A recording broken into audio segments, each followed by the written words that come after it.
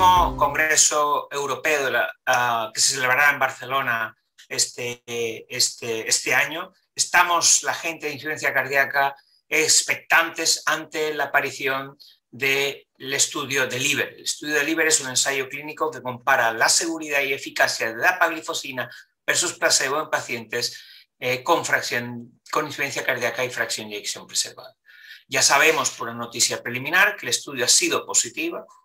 Eh, dapaglifosina es mejor que placebo para el criterio de valoración principal, pero la actitud expectante es sobre todo por conocer la magnitud de esa diferencia y especialmente conocer cuál, es el, cuál fue el efecto de dapaglifosina para cada uno de los, criterios, de los criterios que componen este criterio de valoración compuesto, especialmente para mortalidad y para los ingresos y las visitas a urgencia.